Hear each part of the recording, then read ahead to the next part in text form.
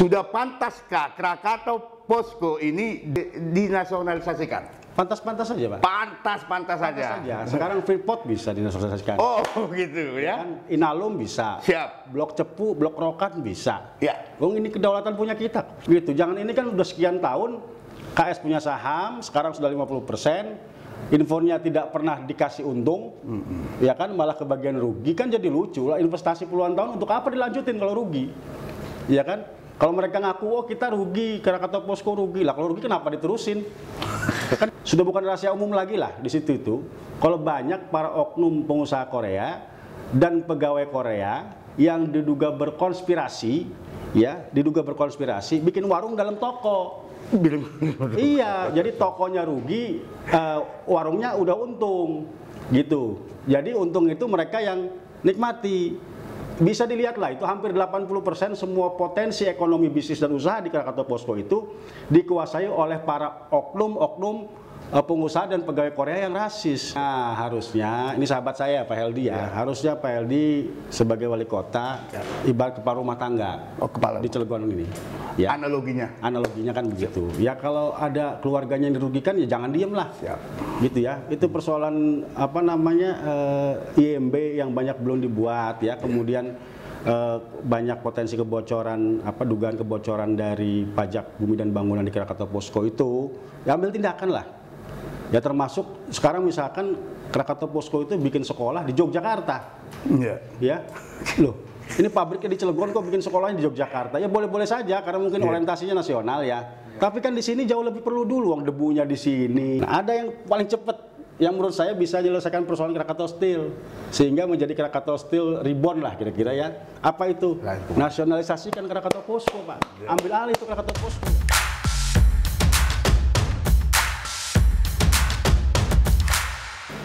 Oke. Assalamualaikum warahmatullahi wabarakatuh. Sahabat-sahabat Lugas TV se-Nusantara. Salam sejahtera.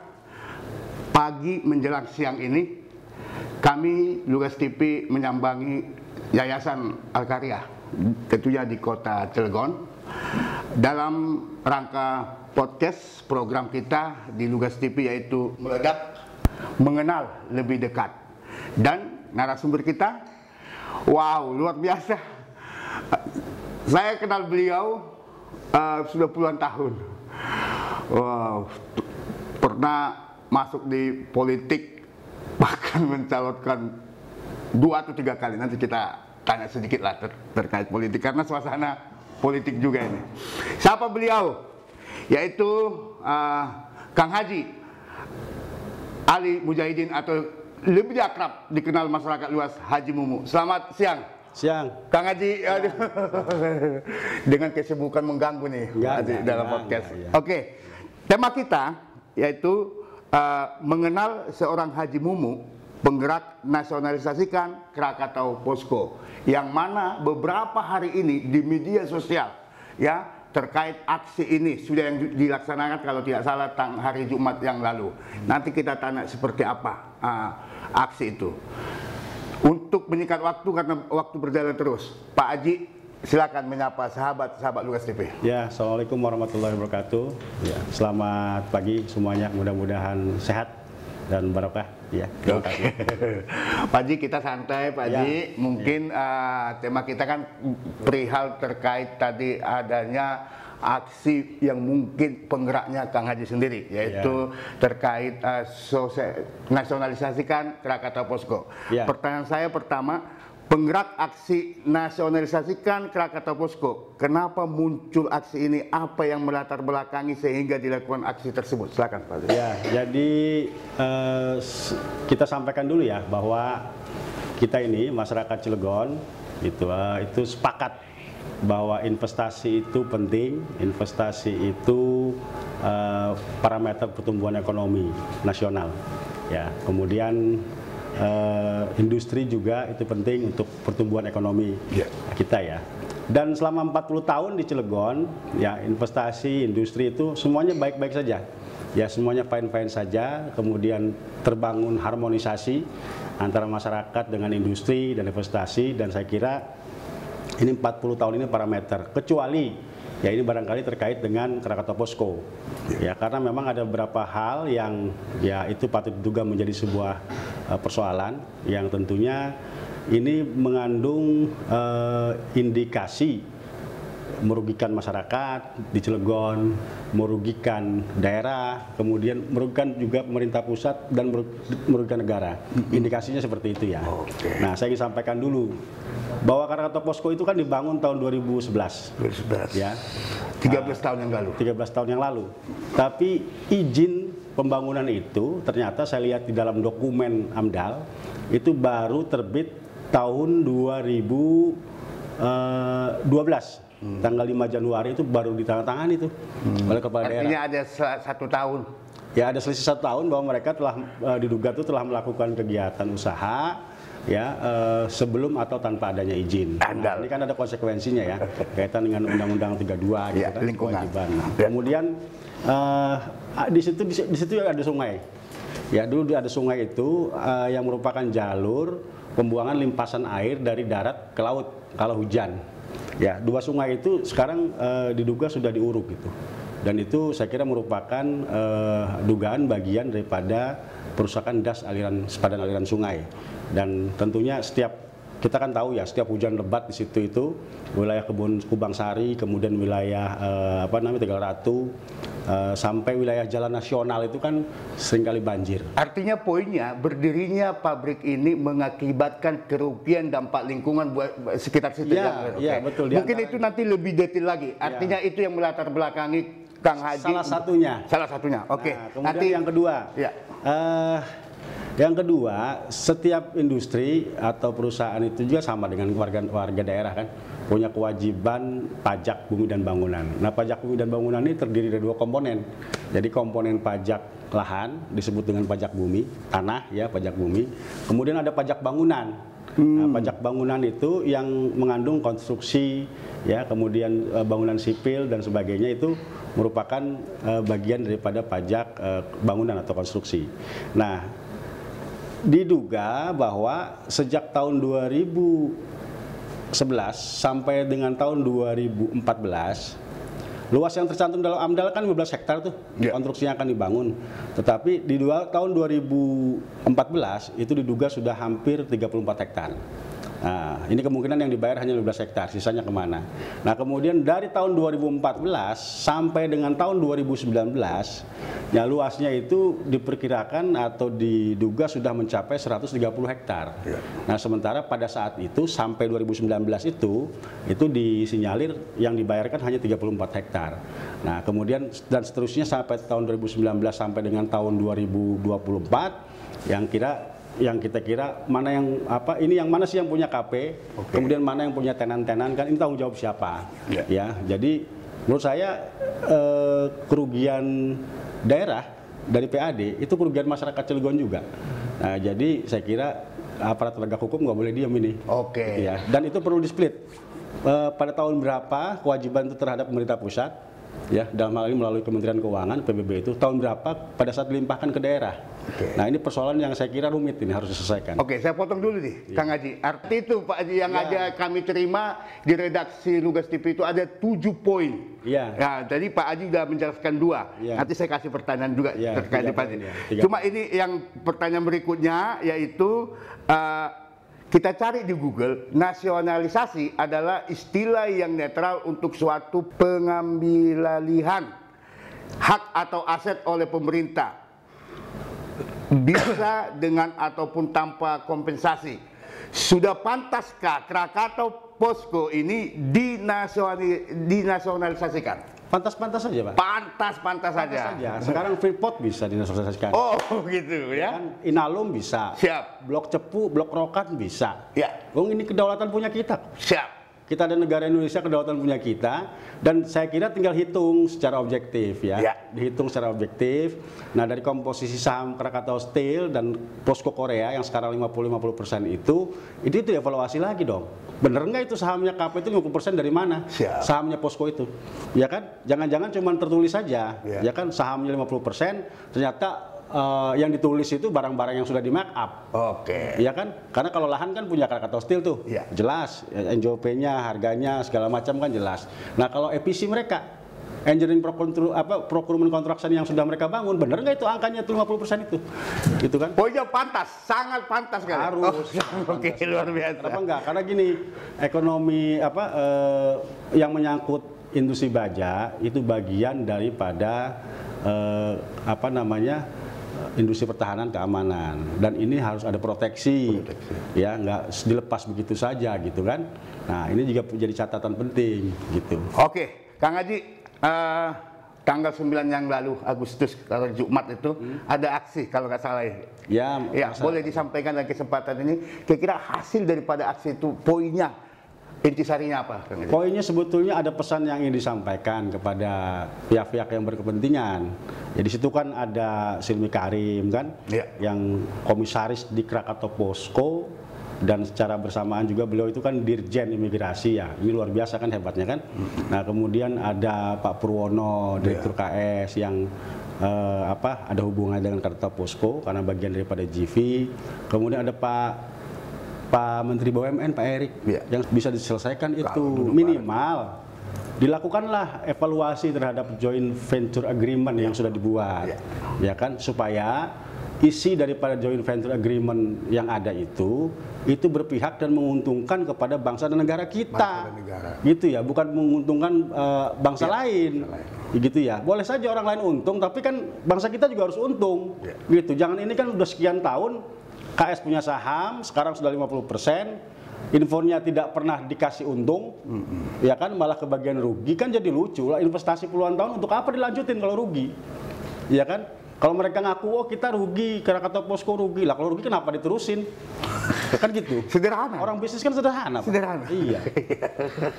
Oke, ah, sahabat Lukas TV, tadi narasumber kita, Kang Haji Mumu, sudah menjelaskan dua ah, poin dari tujuh yang kita terima ke redaksi Lukas TV. Tentunya saya mau jelaskan tadi, eh, membacakan satu tuntutannya itu, supaya sahabat Lukas TV maham, mm, eh, sudah mengetahui mungkin di beberapa pemberitaan, tapi dalam kesempatan ini mau saya sampaikan.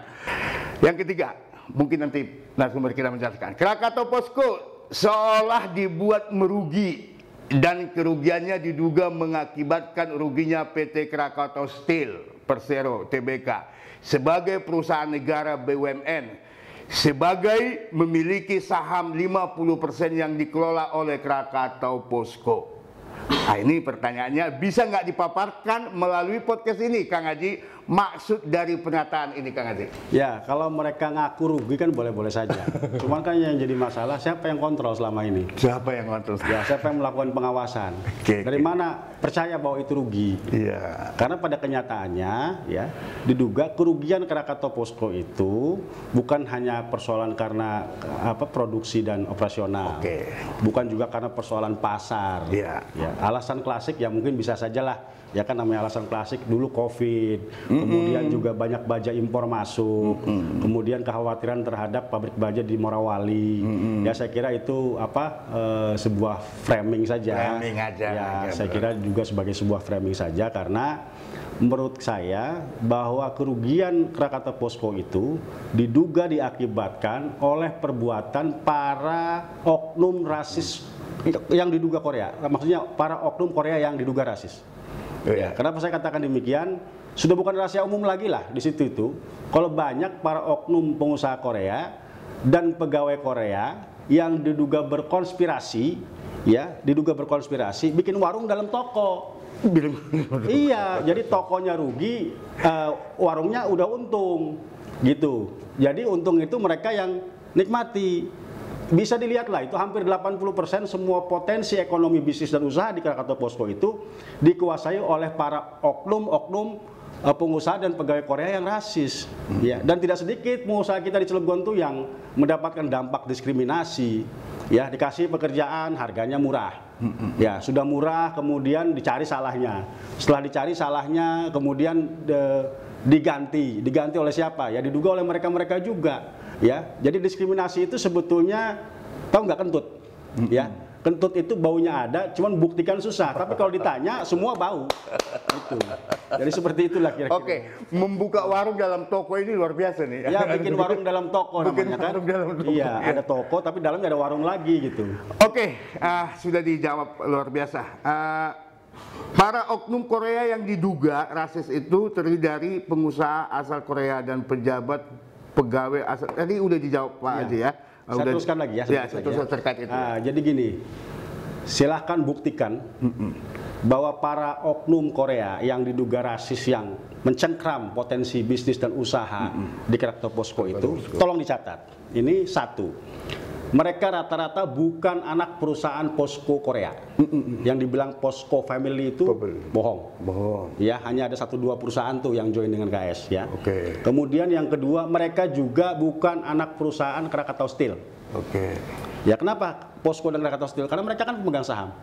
Ya. Kemudian yang ketiga, mereka juga bukan anak perusahaan atau grup Krakatau Posko. Jadi tidak ada relevansinya. Gitu ya. Nah, kalau misalkan kemudian ini Krakatau Steel dengan Krakatau Posko, mereka GV ya 50% 50%. Kemudian nurun nih masing-masing anak perusahaan Posko, anak perusahaan KS 50% 50% atau berapa lah. Itu saya kira masih merupakan hal yang wajar. Tapi ini perusahaan-perusahaan yang diduga mencengkram potensi ekonomi bisnis dan usaha di dalam Krakatau Posko itu, saya jelaskan, saya tegaskan lagi, sebagian besar bukan anak perusahaan Posko, bukan Posko Family, bukan anak perusahaan Krakatau Steel, ya bukan Krakatau Steel Group dan bukan anak perusahaan Krakatau Posko.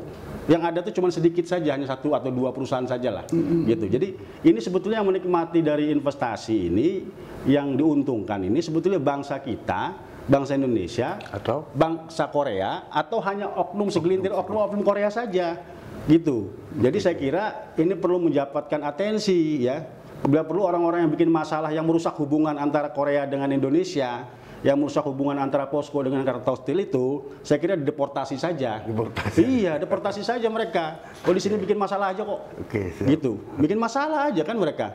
Gitu. Apa mereka firm? Enggak juga. Saya bisa buktikan kalau di antara mereka banyak yang enggak firm.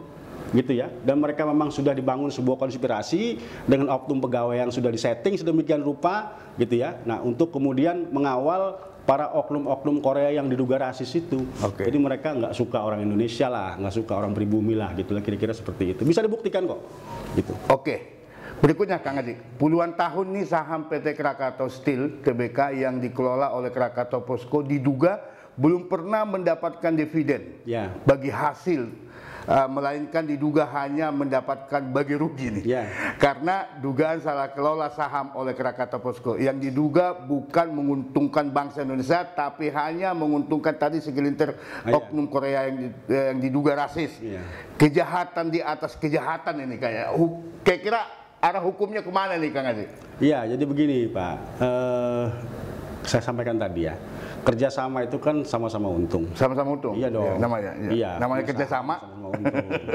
Dan saya itu bukan katanya, karena saya tanya langsung dengan dirut KS. Ya, Pak Purwono saya tanya. Ini bukan Pak Purwono cerita ke saya, bukan ya. Tapi saya tanya ke Pak Purwono, Pak Pur, itu KS dapat untung apa selama ini dari KP? Loh kok Pak Haji tanya itu? Ya nggak dapat untung nggak? Ya dia bilang enggak, kita nggak dapat untung. Ya, tapi malah dapat bagi rugi ya Pak? Gitu. Loh. Nah ini gimana kerjasama nggak dapat untung ini? Ini orang Krakatau Steel ya. itu di Rut Krakatau Steel. Oke. Ya kalau beliau nggak mungkir ya, Iya. tapi saya bersumpah, saya, saya tanyakan itu Siap, kepada beliau dan beliau jawab itu, gitu. Saya nggak nggak nggak Iya. mau. Nggak ada untung. Iya, nggak ada untung. Nggak ada untung. Nggak ada untung. Terus buat apa kerjasama nggak ada untung, Pak? Ya untung itu maksudnya dividen ya. Siap. Bukan dari jualan Iya. eh, apa? Bukan dari jualan produk. Operasional Kalau jualan produk. produk itu soal lain. Oke. gitu saya kira. Oke, ini detail banget nih eh, masyarakat Kota Cilegon yang diwakili oleh Kang Haji ini. Sampai barangnya diduga eh, bekas. Nah, ini pertanyaan berikutnya nih. Posko juga diduga telah melakukan penyeludupan barang bekas mesin rongsok sebagaimana dugaan impor penyeludupan mesin skin paste ya. Eh, perkiraan pembuatan tahun 2007 dari bekas pabrik Posko di Korea. Ya, ya, ya, ya. Jadi apa nih Mas? Bisa dijelaskan nih Mas Ya? Indonesia ini kan- Sedetail banget gitu. Bukan, Indonesia ini kan bukan tempat buangan barang rongsok. Masa Indonesia dibikin tempat buangan rongsok gitu kan? Nah, jadi gini, waktu itu kan HSM diserahkan oleh Krakatau Steel kepada Krakatau Posko sebagai bagian daripada penambahan penyertaan modal saham. Nah, kemudian pada saat diserahkan itu kan mungkin pabrik itu HSM yang dua itu, Ya. itu kan belum sempurna. Ya, perlu ada penambahan mesin lah gitu kira-kira seperti itu. Nah, pada saat itu diduga sekitar tahun 2022 ya, antara bulan Juli lah kurang lebih ya.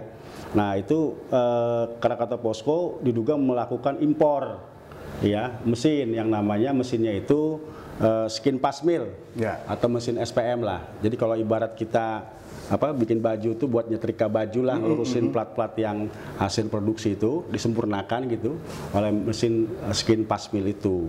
Nah, diduga mesin itu bekas dari pabrik Posko Korea, bukan mesin baru.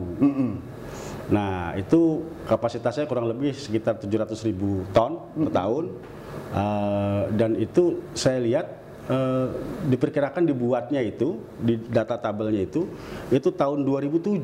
Artinya selama ini sebelum tahun 2002, 2022 mesin itu ke mana? Berarti kan mesin itu diduga mesin bekas, Pak. Ya. Nah, pertanyaan berikutnya, apakah sama pajak mesin bekas dengan pajak mesin baru? Nah, kalau ternyata kalau ternyata mesin itu mesin bekas, kemudian bayar pajaknya pajak mesin baru, berarti kan sama dengan dugaan penyelundupan itu, Pak. Ya. Artinya kok bisa lolos di bea cukai gitu ya? Nah, itu Impornya kan, Kita tanyalah ke bea cukai itu ya. Itu benar. ya kan? Iya. Gitu. Dan eh, saat itu ada orang yang eh, diduga diberhentikan gara-gara persoalan itu. Eh, mungkin jadi korban atau apalah gitu ya, dikorbankan. Nah, kalau menurut eh, kemudian bahasa halusnya mengurungkan diri lah. Bahasanya mungkin diperhalus ya, mengurungkan diri, tapi saya yakin ini berkaitan dengan masalah itu. Oke. Dan saya sudah cek semua dan saya sudah ambil dokumentasinya semua gitu di dalam itu ternyata mesin itu memang diduga mesin bekas. Ya, diduga mesin bekas. Ya. Artinya ada proses pengiriman barang dari luar negeri. Kalau eh, berindikasi memang itu eh, bekas, Ya. tentunya eh, prosesnya harus melalui ke bea cukai gitu kan. Ada ada pajak yang, Ya. Yang dibayarkan. yang berbeda, yang ada yang berbeda, berbeda. tentu berbeda. antara mesin baru dengan bekas itu. Iya, kalau laporan daripada pihak eh, Krakatau Posko ini memasukkan mesin baru, artinya ya benar ada dugaan penyelundupan Enggak, barang. selain itu dihitung juga, itu pengaruhi nggak terhadap nilai saham. Iya, betul. Ya, Iya, jangan-jangan yang di report sebagai bagian daripada saham nilai sahamnya Pak Posko itu, Iya. Ya mesin itu juga. Iya. Ya jangan-jangan kan begitu. nah, tapi kemudian kalau itu mesin baru dan yang dikirim ternyata mesin bekas, kan harus ada pengaruh terhadap nilai saham. Artinya apa? Saham Krakatau Steel ya tidak 50% lagi, 50% plus. Nah, gitu kan? Begitu. Oke, luar biasa. Pak Haji, yang tujuh itu sudah dijawab Pak Haji dengan lantang, dengan lugas nih, ya artinya poin-poin itu. Pertanyaan berikutnya, Kang Haji, masyarakat Kota Cilegon pada umumnya seperti apa merespon ketika ini muncul niatan penggerak aksi nas- nasionalisasikan Krakatau Posko? Ya saya kira beginilah, Eh, ini kan saya sampaikan tadi ada tiga aspek. Aspek kerugian yang diduga dialami oleh masyarakat, aspek kerugian yang diduga oleh dialami oleh pemerintah daerah, aspek yang diduga eh, apa aspek kerugian yang diduga dialami juga oleh perusahaan BUMN Krakatau Steel yang implikasinya diduga merugikan merugikan keuangan negara. Ya. Dari mana? Ya harusnya Krakatau Steel dapat dividen, yang dividen itu implikasinya buat pemasukan ke negara, ya. Eh, tapi akhirnya itu tidak tercapai. Ya karena apa? Karena eh, dugaan mismanagement ya pengelolaan di Krakatau Posko sebagai pengelola saham joint venture atau Ya. saham patungan antara Posko Korea dan Perusahaan eh, PT Krakatau Steel Indonesia gitu.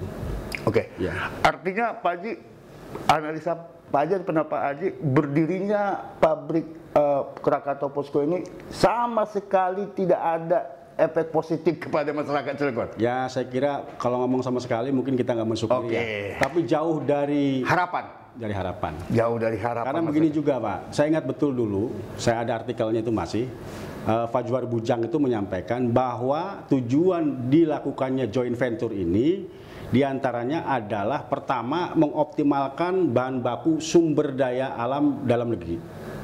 Ya, boleh dicek itu lebih banyak impor apa lebih banyak penggunaan bahan baku dalam negeri. Ya, ya nanti mungkin alasan lah bahwa ada bahan baku dalam negeri itu speknya kurang, kemudian volumenya kurang dan sebagainya. Kita cek dulu lah. Nah, kemudian yang kedua, tujuan dikiranya Krakatau Posko itu dalam rangka memenuhi pasar dalam negeri. Siap, siap. Ya, kita lihat sekarang yang dijual di pasar lokal sama di ekspor jauh lebih ba- banyak mana? Yang keb- kebutuhan pasar dalam negeri aja kurang kok 17 juta, baru terpenuhi sekitar 6 jutaan lah, gitu kan. Nah sekarang kita lihat yang lokal dengan yang eh, penjualan ekspor banyak mana, gitu ya. Artinya apa? Sesuai nggak dengan tujuan awal, gitu. Didirikannya patungan perusahaan patungan ini kan gitu. Oke, uh, sebagai masyarakat Kota Cilegon melihat hal ini, Kang Haji, uh, sepertinya karena ini sudah lebih daripada 10 tahun, artinya pemerintah zaman dulu sama zaman sekarang uh, tidak greget lah bahasa seni. Dari uh, permintaan dari masyarakat, seperti apa sih respon daripada pemerintah daerah khusus Kota Cilegon? Ya harusnya, ini sahabat saya Pak Heldi ya, harusnya Pak Heldi sebagai wali kota ibarat kepala rumah tangga Oh, kepala. di Cilegon ini. Ya, Analoginya. analoginya kan begitu. Ya kalau ada keluarganya yang dirugikan ya jangan diem lah. Siap. Gitu ya. Itu persoalan apa namanya eh, IMB yang banyak belum dibuat ya. Kemudian eh, banyak potensi kebocoran apa dugaan kebocoran dari pajak bumi dan bangunan di Krakatau Posko itu ya ambil tindakan lah. Ya termasuk sekarang misalkan Krakatau Posko itu bikin sekolah di Yogyakarta Iya. ya loh ini pabriknya di Cilegon kok bikin sekolahnya di Yogyakarta? Ya boleh-boleh saja karena mungkin orientasinya nasional ya. Tapi kan di sini jauh lebih perlu dulu uang debunya di sini ya kan? Kita korbankan baku mutu, matu, apa baku mutu udara apa udara kita. Kita korbankan baku mutu air kita ya. Kemudian asaman apa polusi di Cilegon ini eh, sedikit banyak. Krakatau Posko kan punya sumbangsi dan andil kan dari limbah-limbah ekspordisnya itu kan ya kenapa harus bikin pabriknya di sana ah, bikin sekolahnya di Yogyakarta gitu ya bikin aja di Cilegon kenapa Siap, Gitu. siap, apa nggak suka kalau orang Cilegon ini cerdas kan gitu tuh Wow. iya Jadi ada asumsi seperti gitu ya? Ya, Muncul itu, Pak? itu kan pertanyaan ya. Apa nggak suka orang Cilegon itu nanti jadi orang-orang cerdas ya, Siap, kemudian. SDM-nya unggul kan gitu tuh. Nah, jadi saya kira ya terutama buat Pak Heldi kepala daerah ya jangan diem aja dong, ambil langkah dong. Ya ini Pak Heldi sahabat saya lah, gitu ya. Saya ingatkan beliau gitu kan, ambil langkah itu yang perlakuan karyawan di dalam bagaimana ya.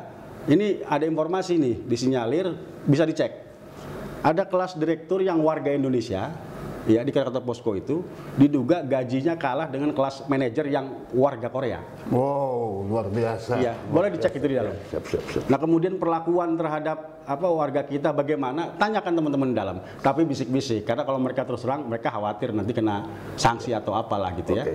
Karena ini perlakuannya sudah menurut saya sudah apa luar biasa lah. Oke, di samping ini pesan sebagai sahabat juga ini menyampaikan kegelisahan masyarakat Kota Cilegon. Iya, ya. iya. Saya minta gini lah. Pak Oli cek itu semua rekanan, rekanan Krakatau Posko itu, bener nggak karyawan yang kerja itu orang Cilegon?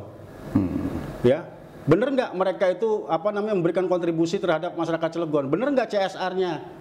Bener nggak bina lingkungannya? Sederhana Ya, sederhana kan wali kota punya dinas Iya. tenaga kerja, punya dinas pendapatan daerah, punya satpol pp, punya ini digerakkan lah semua untuk membela kepentingan masyarakat kita. Iya. Dasarnya apa? Undang-Undang 32 kok. Siap, siap. Undang-Undang 32 itu kan bahwa ada undang-undang otonomi daerah, masyarakat punya apa namanya punya keluasan untuk mengelola daerahnya kok. Oke, luar biasa. Ya, kita juga tahu kalau Krakatau Steel kan sekarang kondisinya mungkin eh, dalam masa yang sulit. Ya. Ya, nah, kita nggak mau cari masalahnya lah. Tapi eh, saya sebagai orang awam, sebetulnya ada peluang potensi solusi. Ada peluang potensi. Ada peluang satu solusi. Apa sih potensi solusinya? Satu, misalkan Krakatau Steel mendapatkan PN, PMN, penambahan modal negara. Ya, tapi berapa sih nilainya? 2-3 triliun, apa cukup? Ya saya kira nggak cukup. Tapi apakah perlu? Perlu. Ya untuk sementara nyambung napas lah kira-kira ya. Nah dapat modal negara. Karena apa?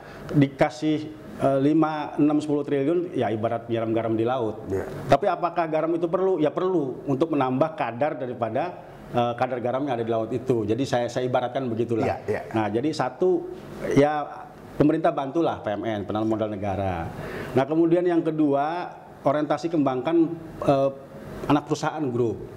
Ya, meskipun itu nggak cepat. Ya, saya kira sekarang kan persaingan usaha sudah luar biasa ya. Nah, saya kira pundi-pundi eh, potensi usaha yang bisa dikembangkan di anak perusahaan itu segera dikembangkan. Tapi apakah bisa menyelesaikan persoalan dalam cepat? Enggak. Ya. Nah, ada yang paling cepat yang menurut saya bisa menyelesaikan persoalan Krakatau Steel sehingga menjadi Krakatau Steel reborn lah kira-kira ya. Apa itu? Langsung. Nasionalisasikan Krakatau Posko, Pak. Ambil alih itu Krakatau Posko. Siap. Ya paling tidak minimal Krakatau Posko sudah bikin eh, dapur eh, suruh suruh produk, suruh bikin produk di dapur saja. Iya, iya. Krakatau Steel yang jualan, ya kan sehingga mobil trailer yang berangkat ke daerah Jawa, Iya, iya, ya, iya. daerah Bandung segala macam itu masih ada tulisan Krakatau Steel gitu kan. Kira-kira itulah solusinya ya. Iya, minimal Krakatau Steel masih ada, masih itu mobil antar jemputnya masih ada, gitu kan? Itu mobil trailernya masih ngangkut barang kan gitu tuh. Ya ini pikiran saya yang yang apa sederhana. Tapi kalau Sederhana. itu su- sudah nggak ada sama sekali, ya kemudian penjualan juga Krakatau Posko apa segala macam. Sementara potensi pasar kita itu adalah potensi tujuan investasi, Pak.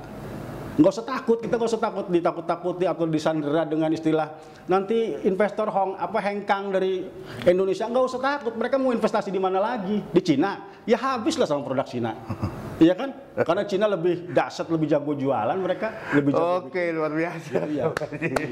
Oke, Kang Haji, eh, kita sudah bahas nih terkait daripada uh, Krakatau Posko.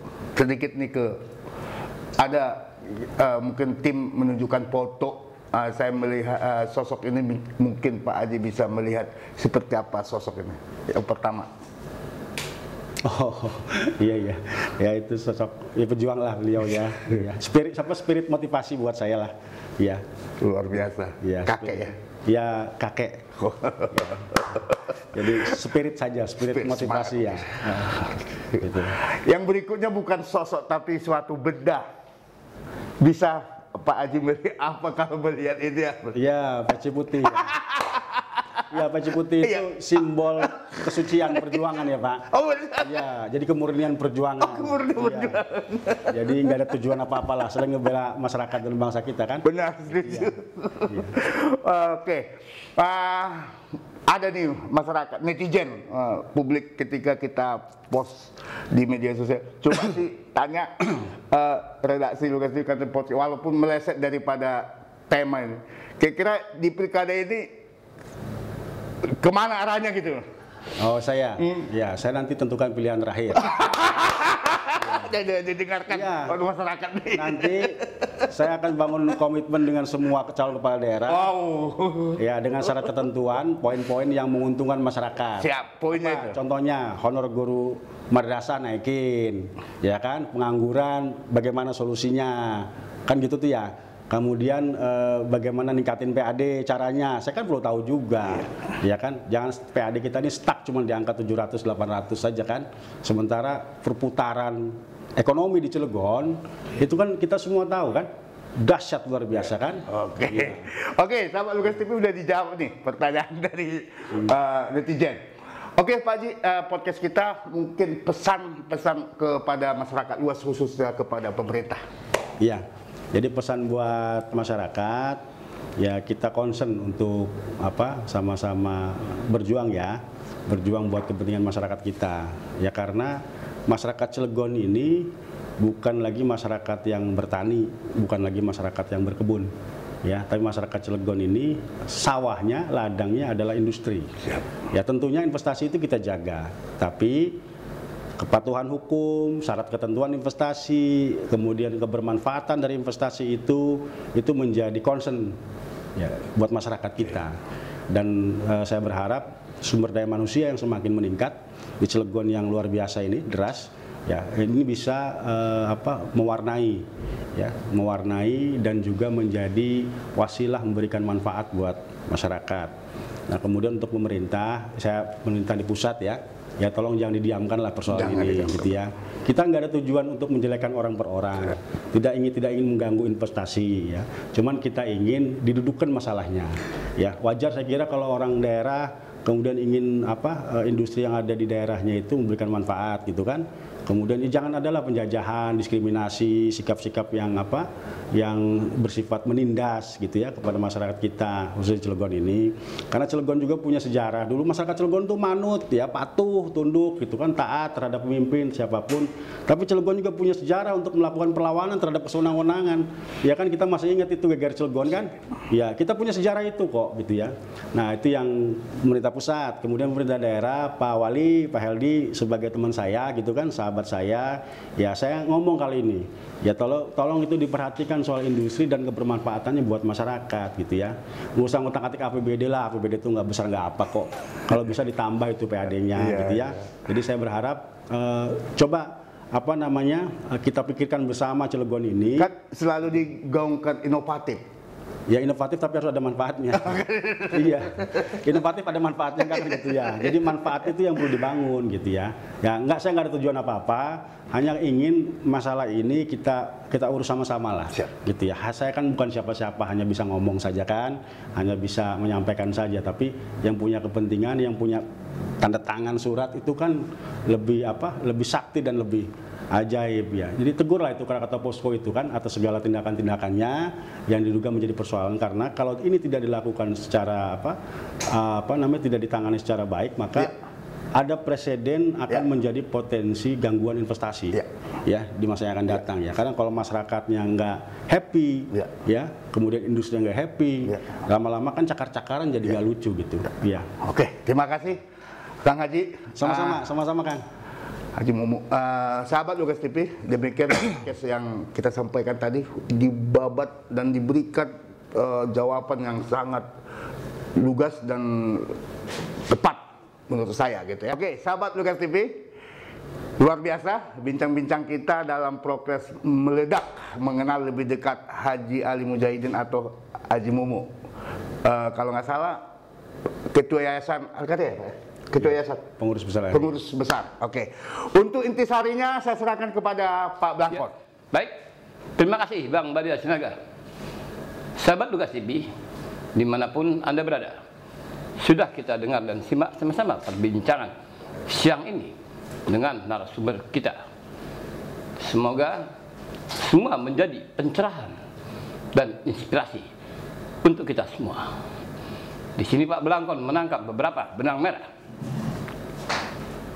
Sepakat dengan investasi tapi bukan investasi yang merugikan masyarakat.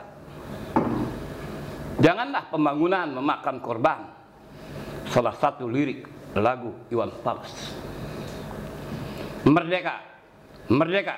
Hari ini segala lomba mulai dilaksanakan untuk memeriahkan HUT RI yang ke-79. Lomba panjat pinang, konon katanya para pribumi memanjat dengan susah payahnya demi sedikit hadiah, sementara penjajah bersorak ria menontonnya. Terakhir, sudahkah kemerdekaan terasa hakikatnya? Atau hanya berubah menggunakan senjata menjadi dengan modal investasi dalam menjajah merdeka, merdeka. Belangkon, Lugas TV. Sampai jumpa di sesi datang.